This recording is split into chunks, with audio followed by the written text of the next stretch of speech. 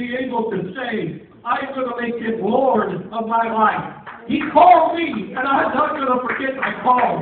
I make a choice to pick up the receiver and hear what he's going to speak into my life today. There are too many people that live their life with no job, no preacher, nobody to speak into their life the precious spiritual truth of the Almighty God. God puts one little nugget into your life, oh, please live with it make it valuable. Choose to make it important.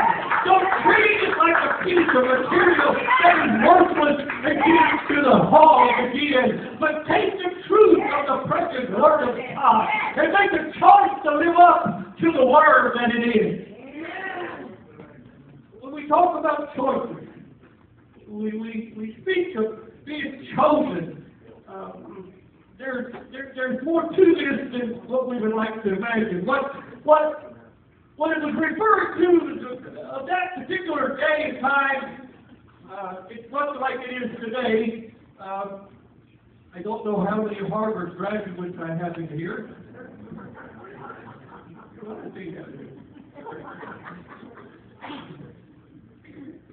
Uh,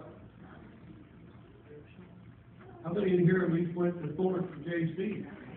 Yeah, that's not so bad.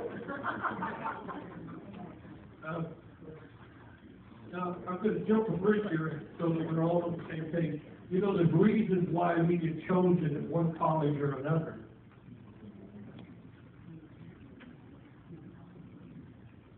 Well, I chose Harvard, but I wound up at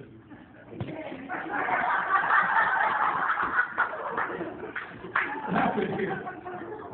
It didn't work right.